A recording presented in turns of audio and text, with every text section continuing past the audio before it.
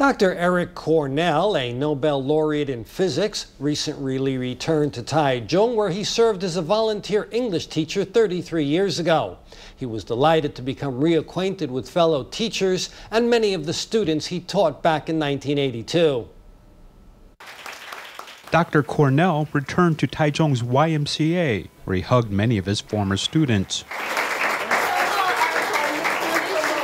When Cornell completed his sophomore year of study at Stanford University, he was hesitant about continuing academic research in physics. For this reason, he took a temporary break from his studies and joined his university's Volunteers in Asia program, which brought him to Taichung's YMCA. My first time in front of a classroom was here in the YMCA. This was where I began. Used himself, oh, because uh, he's young, 23 years old, and uh, so he just want to have a beard and look mature. Taking out an old photo for reference, a few of his old colleagues lined up in a similar fashion to take this picture.